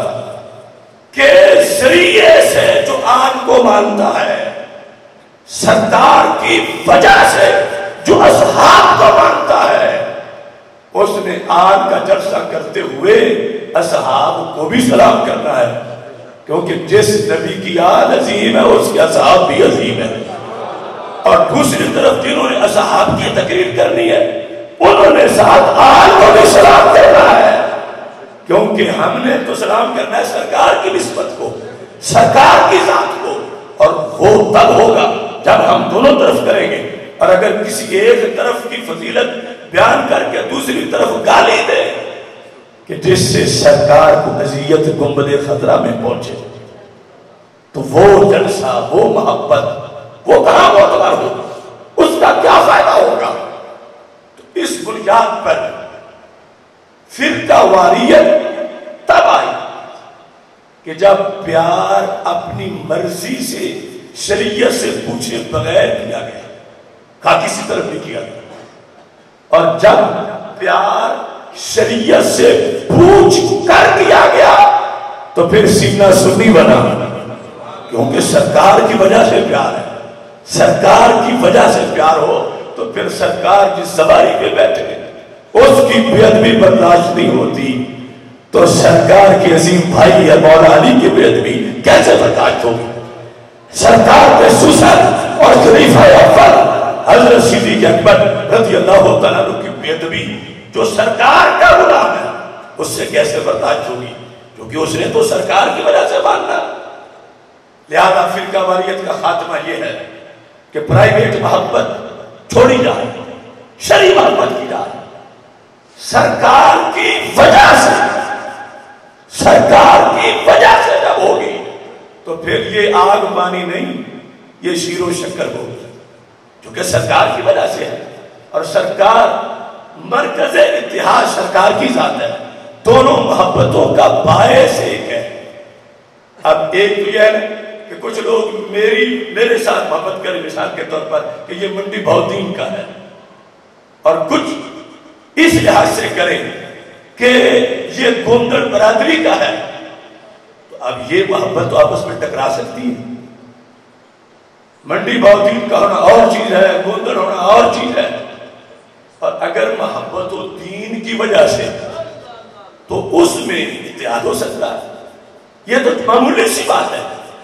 تو یہ سرکار دو عالم صلی اللہ علیہ وسلم کی نبوت، رسالت، یہ سبب ہے حب آل محمد علیہ السلام کا۔ یہ سبب ہے حب صحابہ کا۔ جب سبب ہی ایک ہو تو مسبب تو جدا کیسے ہو سبب محبت کا ایک ہے۔ اس سبب نے محبت کو یکجا کر دیا ہے۔ لہذا جب یہ قانون ہوگا تو پھر ایران سعودی عرب کی جنگ نہیں ہوگی۔ جب یہ ہوگا تو پھر شام اور عراق کی جنگ نہیں ہوگی۔ پھر پوری دنیا پر روافظ اور خوارج کا فتنہ، جس میں لاکھوں لوگ شہید ہو چکے ہیں۔ ایسا نہیں ہوگا، خون نہیں بہے گا۔ اس واسطے کہ محبت شریعت کے اصولوں کی پابند ہوگی۔ اور جب شریع محبت ہوگی، تو پھر جھگڑا نہیں ہوگا۔ پھر ہر جگہ امن کا جھنڈا لہرائے گا۔ تو یہ اتحاد ہے نا کہ کوئی کہے، آگ آگ رہے، پانی پانی رہے، آپس میں اتحاد ہوگا یہ جھوٹ ہے، اتحاد کیا ہے؟ آگ نہیں چھوڑے گی پانی کو، پانی نہیں چھوڑے گا آگ کو۔ آگ نہیں بیٹھے گی پانی کے ساتھ۔ بے شک اوپر اتحاد کا نام ہو۔ لیکن جب آگ پانی نہ ہو، شیر و شکر ہو تو اب یہ اتحاد ہے۔ یہ امت کا اتحاد ہے۔ وَاعْتَسِمُوا بِحَبِلِ اللَّهِ جَمِيًّا وَلَا تَفَرَّقُوا۔ یہ اس کا قانون ہے۔ اور اس پر میں ہزاروں گھنٹے دلائل پیش کر سکتا ہوں قرآن و سننے سے کہ صرف یہ نقطہ اتحاد ہے کہ جس پر امت کو وقار، قوت مل سکتی ہے اور جس پر سارے فسادات کا خاتمہ ہو سکتا ہے۔ ورنہ جو صورتحال ہے وہ تو آگ پانی والی ہے۔ اور پاکستان میں کتنی قتل و غارت اس نام پر ہوئی۔ اور اصل آگے فتنہ یہ ہے کہ اگر کوئی بندہ سچی چیز کو فالو کرے تو پھر اس میں کامیابی ہے۔ لیکن جنہیں مقتدا سمجھا جائے کہ یہ لوگ اس بات میں سپیشلسٹ ہیں اور وہ ہوئی جھوٹے، تو پھر جو ان کی طرح پیچھے پیچھے آئے تو انہیں کی گڑے میں گر جائیں۔ اگر روافظ کی حب اہل بیت سچی ہوتی، تو پھر تم کہتے وہ بھی پیار کرتے ہیں، ہم بھی پیار کرتے ہیں۔ تو یہ تو ایسا ہی، وہ جو پیار کرتے وہ تو شریعت سے غداری ہے۔ وہ تو قرآن کا انکار ہے۔ قرآن کا ایک حرف نہ مانے تو ایمان نہیں رہتا۔ انہیں کتنی موٹی موٹی کتابیں لکھی ہوئی ہیں۔ فصل الخطاب فی تحریف کلام رب الارباب، یہ سارا قرآن بدل چکا ہے۔ عربی میں کتابیں لکھی ہوئی ہیں۔ یہ ان کا دین ہے۔ اب یہاں ایسی صورتحال کے اندر شریع پیار، شریعت کہتی ہے سرکار کے ذریعے سے مانو گے تو پھر غلوب نہیں ہوگا۔ پھر یہ نہیں کہ کوئی صدیق اکبر کو سرکار سے آگے لے جائے، کوئی مولا علی کو سرکار سے آگے لے جائے۔ نہیں، جن کی وجہ سے ہے، وہ ہے اصل فضیلت اور ان کے ذریعے سے ان کو یہ فضیلت ملی۔ اب ان لوگوں نے جن کی بیسی محبت کی صحیح نہیں، وہ خرافات لا رہے ہیں اپنی محفلوں میں، بکواسات لا رہے ہیں، کفریات لا رہے ہیں۔ اور ادھر کچھ سنی، یہ دیکھ کہ ماشاءاللہ، یہ تو محبان اہل بیت ہم بھی پھر ایسے ہی کریں۔ کوئی ہم بھی تازیہ بنائیں، کوئی ہم بھی ماتم کا رستہ نکالیں، کوئی ہم بھی ہائے ہائے کا کوئی پروگرام سوچیں، کوئی ہم بھی اس طرح کا کوئی سٹیج سیکٹ نہیں بڑھائیں کوئی ہم بھی اس طرح کا کوئی نات خان کوئی ایسا خطیب بنائے۔ ارے بھائیو، خدا کی قسم، وہ محبت جھوٹ ہے۔ اس کو دیکھ کے اپنی کمی پوری نہ کرو، بلکہ یہ کمی پوری کرو کہ قرآن نے کیا کہا ہے۔ کہ وہ ہمارے اندر پورا ہے، ہمارا میرٹ یا وہ کمی ہے۔ اب یہ دیکھو، بات بڑی لمبی ہے، یہ مکتوبات شریف۔ یہ ہے حضرت مجدد الفیسانی رحمت اللہ علیہ۔ یہ ہے کشف المحجوب، یہ ہے داتا گنج بخش اجویری رحمت اللہ علیہ۔ اب چلو مجھے تو کوئی کہے گا، یہ ملا ہے، یہ مولوی ہے، یہ فلاں ہے۔ اب ان پر تو سب کا یقین ہے کہ پنجاب میں سجدوں کی بہار آئی تو کاش بیج علی حجویری نے کیا تھا۔ پنجاب میں ہی نہیں برے سبھی اور یہ وہ مجدد ہیں جب اکبر! لبرل بن کے اس وقت کا لبرل ہندو اور اسلام دونوں کو مکس کر کے نام بڑا خوبصورت رکھ کے دین الہی اپنی حکومت کو، اقتدار کو دور دینا چاہتا تھا۔ تو یہ مجدد صاحب مسلح سے اٹھ کے کھڑے ہو گئے۔ انہوں نے کہا، یہ دھاندلی نہیں ہونے دوں گا۔ خود گوار یار کے قلعے میں بند ہو گئے۔ مگر انہوں نے وہ دھاندلی نہیں ہونے ورنہ آج شاید ازانیں ختم ہو چکی ہوتی۔ وہ ہندو مذہب اور اسلام ملا کر اگر بنایا جاتا، تو ان کے یہ مکتوبات چار صدیاں پہلے۔ انہوں نے اس وقت اس پہ پاس کی۔ اگر صرف ایک مکتوب کوئی غیر جانبدار ہو کے پڑھ لے یا سن لے، خدا کی قسم جنت کے دروازے تک بھولے گا نہیں۔ بشرتے کہ اللہ کا فضل رہے۔ اب یہ آپ حضرات یقیناً شرک پور شریف کو تو جانتے ہیں۔ اور میاں شیر محمد شیر ربانی کو تو جانتے ہیں۔ مجدد صاحب وہ ہیں کہ جہاں شیر ربانی کی عقل بھی گم ہو جاتی ہے۔ یعنی شیر ربانی ان کے مریدوں کے مریدوں کے مریدوں کے مریدوں کے مرید ہزاروں ولیوں کے سربراہ۔ انہوں نے تعریف کی کہ سنی ہونا کیا ہوتا ہے؟ سنی ہونا کیا ہوتا ہے؟ آپ کہتے ہیں سنی ہونا محب اہل بیت ہونا ہوتا ہے۔ سنی ہونا۔ رافضی ہونا نہیں۔ آج لوگوں نے کنویں کو مینار اور مینار کو کنواں بنایا ہوا۔ کنویں مینار کا فرق آتا ہے نا۔ کنواں کنواں اتنا گہرا ہے، مینار اتنا اونچا ہے۔ اور اگر مینار کو کوئی کہے یہ کنواں ہے اور کنویں کو کوئی کہے مینار ہے، تو پھر عقل کی تو بس ہو گئی۔ آج خدا کی قسم اس مسئلے میں اس سے بھی بڑا مسئلہ بنا ہوا ہے۔ اور ویسے ایسا ہوتا نہیں ہے کہ کنویں کو کوئی مینار کہے، مینار کو کنواں کہے، لیکن جب گمراہی آئے تو ہو بھی جاتا ہے۔ اور عجیب رب نے مثالیں رکھی ہمارے لاہور میں، یہ رنگ روڈ بنا ہوا ہے، جہاں قائد اعظم انٹرچینج ہے، اس کی آگے آگے دائیں طرف لاہور سے باہر نکل کے دیکھیں تو وہاں تو بھی ایک مینار نظر آئے گا۔ لیکن ہے وہ کنواں یعنی وہاں زمین میں جب یہ لوگ ٹرالیاں بھر بھر کے لے جاتے تھے مٹی کی تو کنواں تھا سارے ارد گرد سے مٹی اٹھاتے گئے اٹھاتے گئے اٹھاتے گئے۔ وہ چالیس فٹ گہری ہو گئی اور درمیان میں کنواں اسی طرح کھڑا ہے۔ تو دور دیکھیں تو وہ مینار ہی لگتا ہے۔ اور ارد گرد ہے۔ وہ ساری تاریخ میں جو کہا جاتا تھا، کنواں مینار نہیں ہوتا، مینار کنواں نہیں ہوتا۔ ہم نے اپنی آنکھوں سے وہ زمانہ بھی دیکھ لیا کہ جہاں یہ مینار کنواں بھی بنا ہوا ہے اور وہ کنواں بھی مینار بنا ہوا ہے۔ اب دیکھو، مجدد صاحب، اس پر تبصرہ کرتے ہوئے میں اصل فارسی جو ان کا مکتوب ہے، وہ بیان کرتا ہوں۔ آپ کہتے ہیں کہ بس محبت حضرت امیر۔ امیر جب بھی لفظ بولیں، مجدد صاحب تو مراد مولا علی ہوتے ہیں، رضی اللہ تعالیٰ بس محبت حضرت امیر۔ شرط تسنن آمد۔ یہ تسنن تشیعوں کے مقابلے میں۔ شرط تسنن آمد۔ اپنا یہ نام بھی ذہن رکھ لو۔ یہ نہیں کہ معاشر کے میدان میں کہیں بورڈ لگاؤ اہل تسنن آ جائیں۔ آگے جنت کا رستہ ہے۔ تم کو ہم نے تو یہ نام آج تک سنا ہی نہیں، اپنا ہم ادھر کیوں جانا تو تم اہل تسنن بھی ہو۔ اہل تسنن بھی ہو۔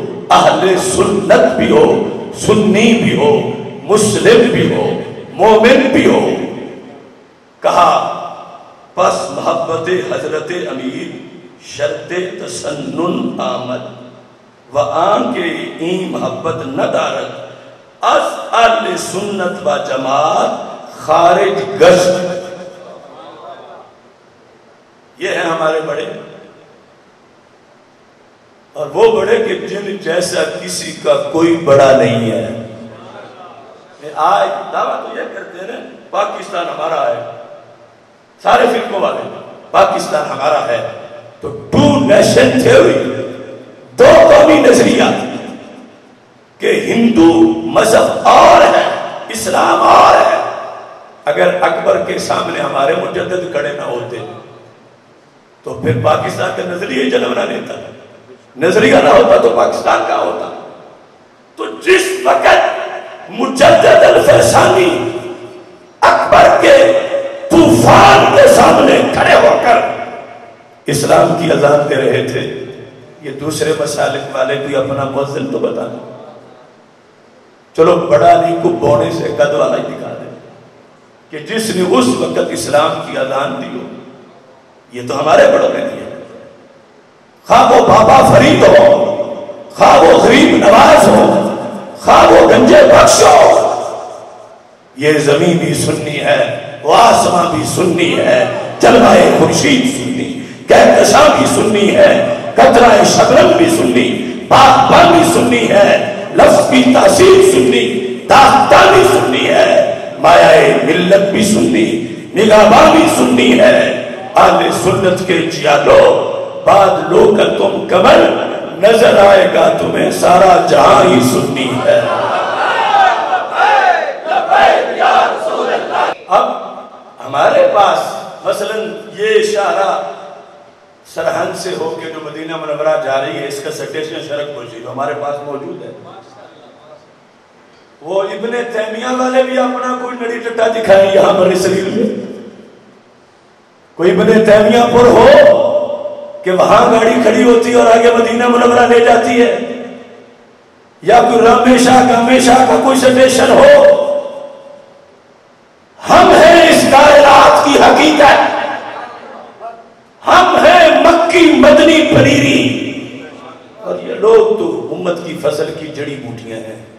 اور جڑی بوٹیاں چھپ چھپ کے گزارا کرتی اور اصل فصل چھپتی نہیں ہے۔ اب دیکھو، پہلے آپ نے سنا ہوگا تین طرح کا جملہ۔ ایک یہ کہ ہم بھی سننی ہیں۔ یعنی یہ دفاع کرتے کرتے، نہیں وہ نہیں، ہم بھی سننی ہیں۔ یعنی ہم بھی محب اہل بیت ہیں۔ کچھ وہ بھی محب اہل بیت ہیں۔ مجدد صاحب کہتے ہیں دونوں جھوٹ ہیں۔ ہم ہی محب اہل بیت ہیں۔ ہم ہی۔ ابھی یہ سارے اکادر یعنی یہی بات داتا صاحب بھی کرتے ہیں۔ یہ میں اصل فارسی نسخہ جو حضرت بہاؤدین زکریہ ملتانی کے ہاتھ کا لکھا ہوا، پھر آگے چھپا۔ یہ وہ ہے، ترجمہ نہیں ہے۔ یعنی آل سنت، یہ نہیں ہے کہ آج یہ چند مولوی کہنا شروع ہو گئے ہیں۔ آل سنت وہ ٹائٹل ہے کہ جس کو بتائے بغیر داتا حجویری کی بھی پہچان نہ ہو۔ اور جو اپنے شناختی کارڈ میں مدینہ منورہ میں دربار رسالت کے اندر سنی کہلا کے حاضری لگوائیں، تو تیری میری کیا حیثیت ہے؟ کہ ہم کہیں گے یہ بس ایسے ہے فلاں ایسا ہے، وہ بھی محب اہل بیت ہے آپ نے کہا کہ ہمارا ان لوگوں سے اب ایک شہد کی بات کرتا ہوں، مثال طور پر جو دعوے دار ہیں حب اہل بیت کے۔ مجدد صاحب کہتے ہیں محبت اہل بیت، اگر رافضی ہونا ہوتا تو میں آپ رافضی ہوں۔ محبت اہل بیت، اگر رافضی ہونا ہوتا۔ اور یہ بھی ایک واردات بڑے بڑے لوگوں نے کی تحر القادری سمیت، کہ اگر محبت اہل بیت شیعہ ہونا ہے تو میں شیعہ ہوں۔ یہ امام شافی کا قول پیش کرتے ہیں ایک تو یہ شعر میں لفظ شیعہ نہیں، لفظ رافضی ہے۔ اور دوسرا مطلب پوچھنا ہے تو پھر مجدد الویسانی سے پوچھو۔ ان کا انقلاب تو دوپہر سے پہلے ہی غروب ہو گیا۔ اٹھتے ہی، اور یہ وہ ہے کہ جن کا انقلاب کا پاکستان آج بھی قائم ہے۔ آپ فرماتے ہیں کہ ہمارا جھگڑا کیوں ہے روافظ سے؟ جو اپنا خوشیاں کہتے ہیں۔ ان سے جھگڑا کیوں ہے ہمارا؟ مجدد صاحب کہتے ہیں کہ بات اصل میں یہ ہے کہ محبت اہل بیت رسول وابستہ محبت رسول جو میں پہلے وہ حضرت صاحب کی مثال دے کے جو بات کر رہا ہوں۔ محبت اہل بیت رسول صلی اللہ علیہ وسلم بواسطہ محبت رسول صلی اللہ علیہ وسلم۔ باید کے دشمنان رسول را نیز دشمن باشن. یعنی سرکار کی وجہ سے جب پیار کرنا ہے، تو پھر سرکار کے دشمنوں سے دشمنی بھی کرنی یہ تو تحصلہ قانون ہے۔ یعنی ہر کاشتکار دکاندار، یہ جو ہمارے بھائی جٹ، کسان ویر کرتے ہیں بیر کرتے ہیں، تو کہاں تک جاتے ہیں؟ جب اگلے کی وفا کو چیک کرتے ہیں میں نے تجھے تو کچھ نہیں کہا. تو میرے دشمن کے ساتھ بیٹھا کیوں نظر آیا؟ اینا تو میرا وفادار نہیں ہے، کیونکہ تو میرے دشمن کے ساتھ نظر آیا۔ ایسا ہوتا ہے؟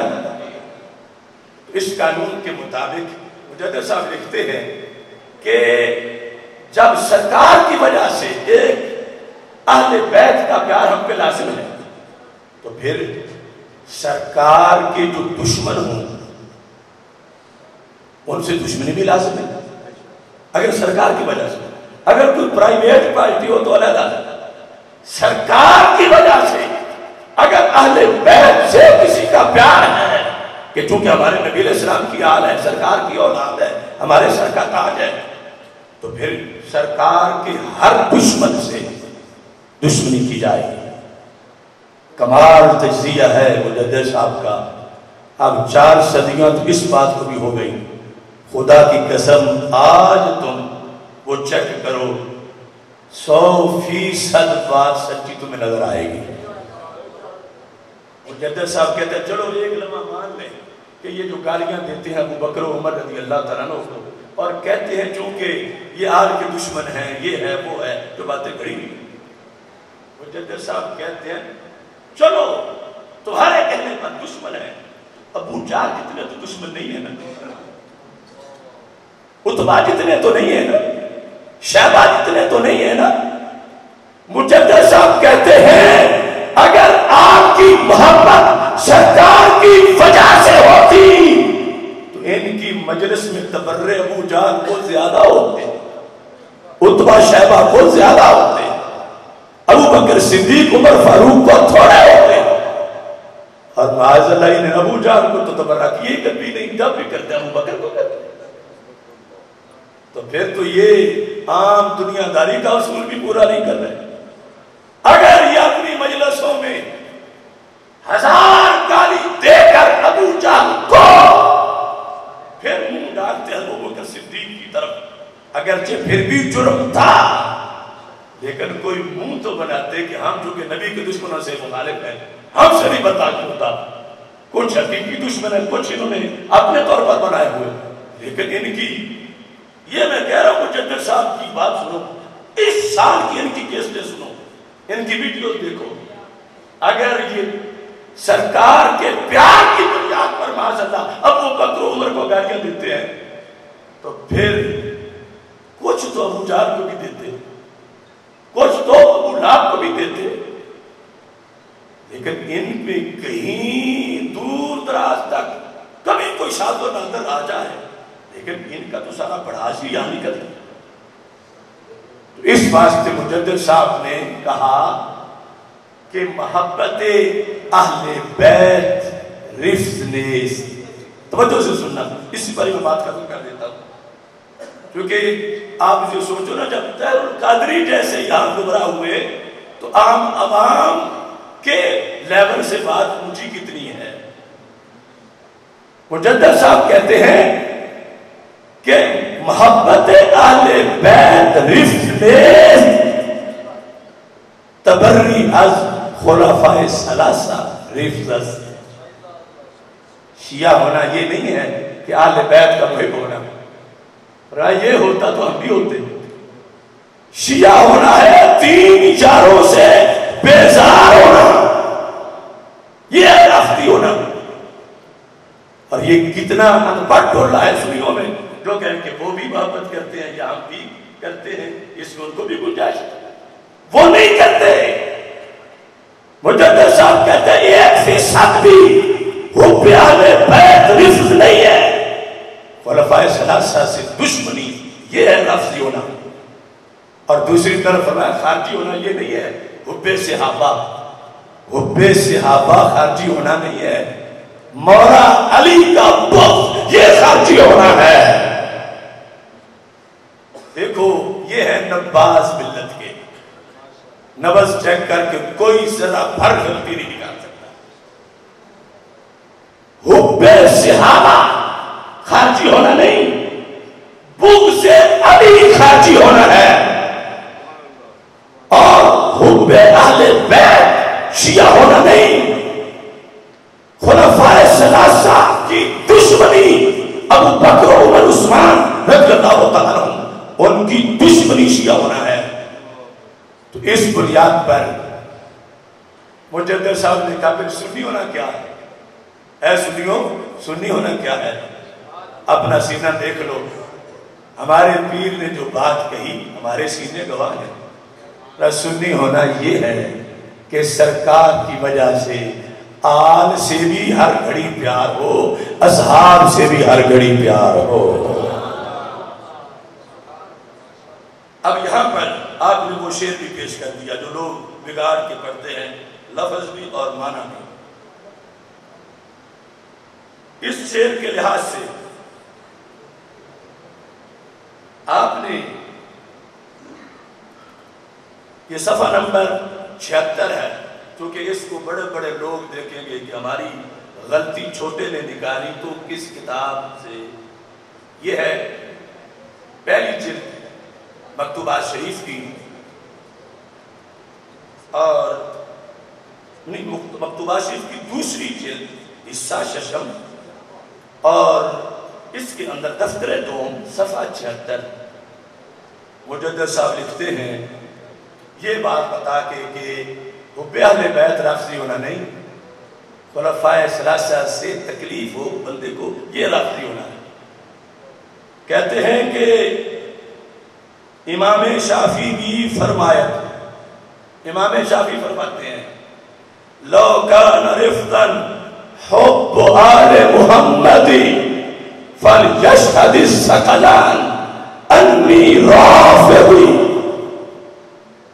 یہ ہے وہ شیر جس کو پڑھ کے تحر قادری ایران والوں کو خوش کر لیتا ہے اور ان سے بھی فنڈ لے لیتا ہے۔ داتا صاحب بھی چلا جاتا ہے کام شاہ بھی چلا جاتا ہے۔ اور ایسا اس نے پورا آگیا طبقہ بنایا ہوا اور ہر لونڈا لونڈا بولتا اگر یہ محبت عال بیت شیعہ ہے، میں شیعہ ہوں، میں شیعہ ہوں۔ امام شافی کہہ رہے ہیں، ایک تو شیعہ کا لفظ، یہ زومانہ دین ہے، دوجیہ دین ہے۔ اصل ان کا نام رافضی ہے۔ رفض۔ تو امام شافی کہتے ہیں، لو کان رفضا حب والے محمد میں نے کہا تھا، میں نے سبق پڑھانا ہے۔ یہ ذرا تھوڑا سا بس سبق پڑھ لیں تو پھر سب کو ہار ڈالنا۔ کہیں ہار نہ جائیں۔ تو سارے دھیان کرو۔ اس بات پر۔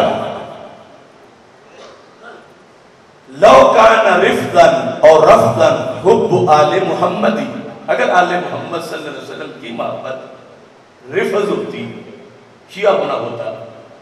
تو امام شافی کہتے ہیں، زمین و آسمان پر گواہ ہو جا اگر ایسا ہونا، حب اہل محمد رافض، رفض ہے تو میں رافضی۔ اب ان لوگوں نے کہا کہ رافضی حب اہل بیت ہے، اور اگر یہ رافضی ہونا ہے تو ہم بھی حب اہل بیت ہے تو ہم بھی رافضی ہم بھی شیعہ مجدد صاحب نے اس کا معنی لکھا۔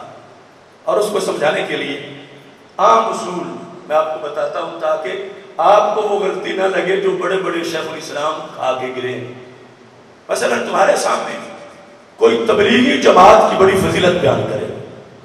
بڑے نیک ہیں، بڑے بادشاہ ہیں، اور پھر کہ تم تبلیغی ہے کیوں نہیں؟ تم تبلیغی کیوں نہیں بنتے؟ اور تمہیں پتا ہو ان کے کرتوتوں کا ان کے تقوی کا، گلابی تقوی کا، بیوٹی پارلر کا تارک جمیل کے اندر باطن کا۔ وہ بڑا متصر ہے، وہ کہتا ہے، تبلیغی ہونا بڑا مقام ہے، تبلیغی ہونا بڑا شان ہے، بڑی اللہ، بڑے اللہ والے ہیں۔ اور حضرت صاحب تم بھی تبلیغی بن جاؤ۔ اور حضرت صاحب کو پتا ہے وہ کہتے ہیں، اگر تبلیغی ہونا، اللہ والا ہونا ہوتا، تو میں ضرور تبلیغی ہوتا۔ لیکن تبلیغی ہونا اللہ والا ہونا نہیں۔ لہذا میں تبلیغی بولو تو صحیح، میں تبلیغی میں تبلیغی میں تبلیغی کوئی یہ تو نہیں کہہ رہا ہوں۔ یہی کہہ رہا ہوں، میں تبلیغی نہیں۔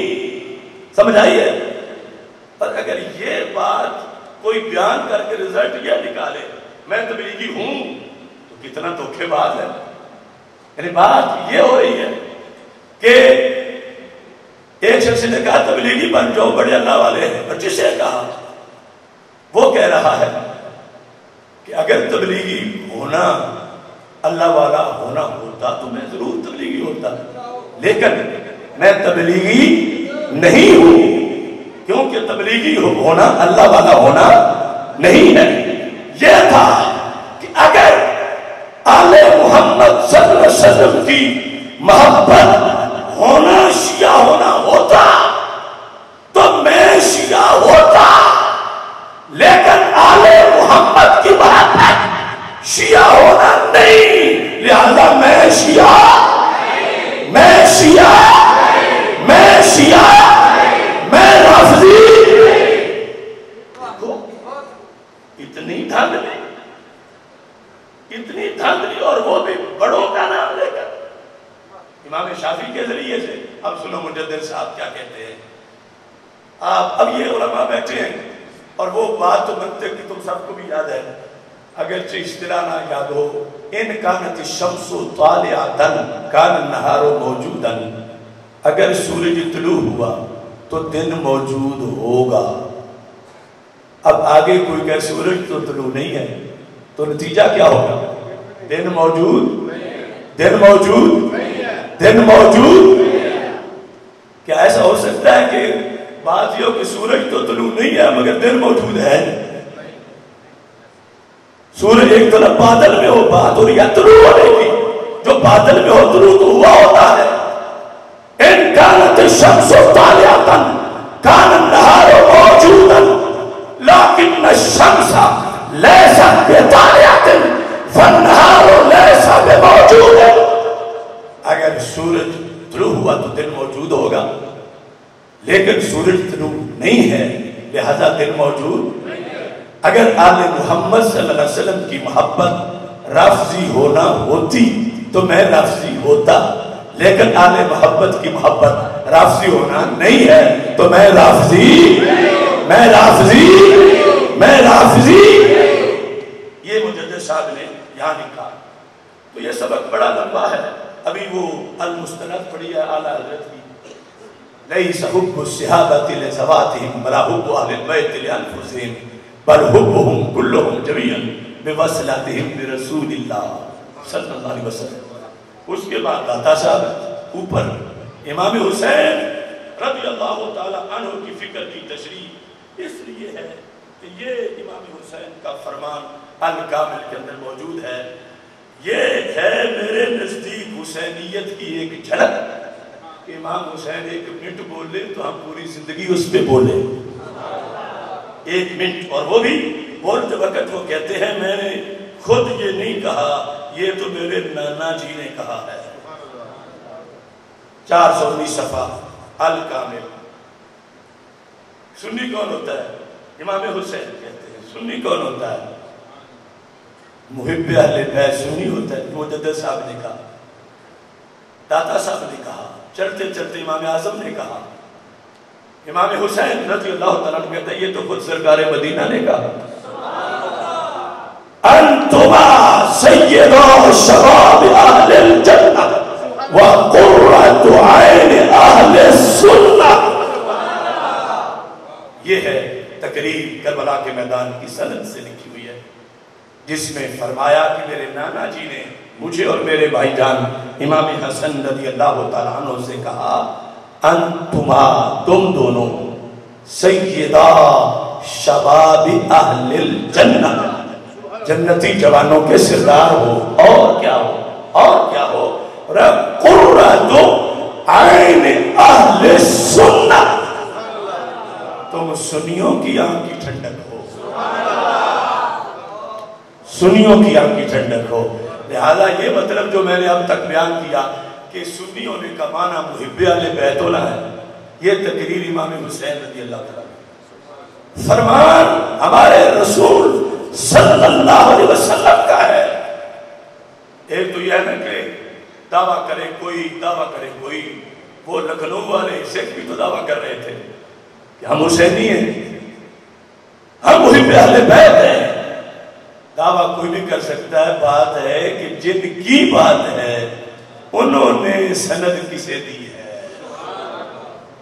تو امام حسین کہتے ہیں، میں گواہ ہوں، میرے بھائی گواہ ہیں کہ رسول پاک صلی اللہ علیہ وسلم نے فرمایا کہ تم دونوں قرہ کہتے ہیں، ٹھنڈک کو، عین کہتے ہیں، آنکھ کو، اہل سنت کہتے ہیں، سنی کو۔ قرۃ عین اہل سنت۔ کہ تم دونوں اہل سنت کی آنکھوں کی ٹھنڈک ہو۔ فیصلہ ختم۔ یہی فیصلہ کیا وقت تک چلے گا۔ یہی ٹکٹ ہے جنت کی۔ حوض دوست کے پاس بھی یہی پاسپورٹ چلے گا۔ آج لے ان کی بڑا آج مدد مانگ ان سے۔ کل نہ مانیں گے قیامت کو اگر مان گیا۔ اور ساتھ دوسری طرف بھی ہم یہ اتنے حوالے دے کے بلکہ یہ تو میں تھوڑی سے ایک بطور خوشبو سیمپل آپ کے سامنے لایا ہوں۔ ہم ثابت کر کے جب فارغ ہوں کہ یہ اہل سنت ہیں کہ جن کے لیے سرکار نے یہ ڈگری دی ہے، اور دوسری طرف سے کوئی ٹولہ آ رہا کہ اہل سنت والجماعت وہ ہم ہی ہیں۔ کوئی خارجی، کوئی یزیدی، کوئی نجدی کیونکہ داغ چھپانے کے لیے چادر ستری چاہیے اور جن کے دامن پہ ہزاروں قتل ہو، انہوں نے کہا کہ یہ جو ستری اتنی مدینہ منورہ سے آئی چادر اہل سنت، ہم اوپر لیتے ہیں اور سب کچھ چھپ جائے گا، لہذا ہم اہل سنت ول جماعت ہیں۔ ہم نے کہا نہیں، ایسے ہم کسی کو وال نہیں دینے دیں گے۔ پنجابی کا وال سر تسی وال دے جب اہل سنت ول جماعت کہنے سے نہیں بنتے۔ سینہ چیک کراؤ۔ سنی کا سینہ گواہی دیتا ہے۔ بیچ پھل۔ درخت پر دعویٰ کرنا۔ کیتر کا درخت ہو۔ اور کوئی کہے، ماشاءاللہ، بڑا اچھا اناروں کا درخت ہے۔ تو صرف کہنے سے تو نہیں کہا جائے گا کوئی انار بھی تو دکھاؤ۔ وہ کیتر اور کہے ماشاءاللہ کیا خوبصورت مسمی ہے۔ تو کہا جائے گا کوئی پھل بھی تو دکھاؤ، کوئی بیج بھی دکھاؤ۔ تو اس بنیاد پر میں دونوں طرف کے لحاظ سے بات کر کے سنی کی تعریف، فرقہ باریت کا خاتمہ، امن کا فارمولہ، جسے کوئی جھٹلا نہیں سکتا، پیش کر کے بات ختم کرتا ہوں۔ جو کہتے ہیں اللہ سنت والجماعت ہمیں تو میرے نبی علیہ السلام نے فرمایا، سنی ہونے کی کوئی شرطیں بھی ہیں یہ نہیں کہ جو منہ سے کہے، میں سنی ہوں، وہ سنی بن جائے۔ کیا شرط ہے؟ قرۃ عین اہل سنت۔ خلاصہ یہ ہے کہ سنی ہونے کی شرطوں میں سے ایک شرط یہ ہے، اس کا کلیجہ چیرا جائے تو آدھے پہ حسن لکھا ہو، آدھے پہ حسین لکھا ہو۔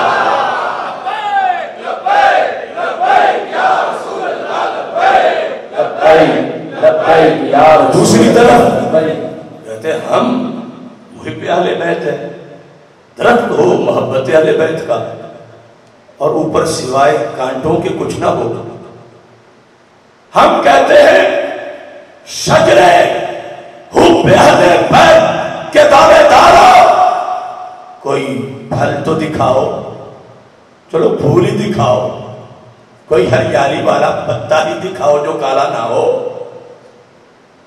دکھاؤ! ان کے ہاں کہیں رام شاہ، کہیں گام شاہ، کہیں دھونی سرکار، کہیں بنگ کا گوٹا۔ میں نے کہا، دیکھنا ہے پھل تو دیکھو شجر اہل سنت پہ۔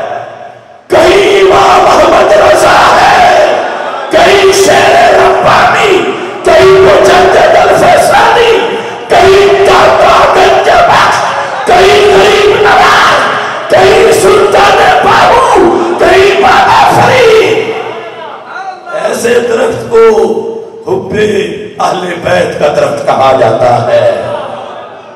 دوسرے درخت کو کہنا تو توہین ہے محبت کی، کہ جس پر ہے ہی کچھ نہیں۔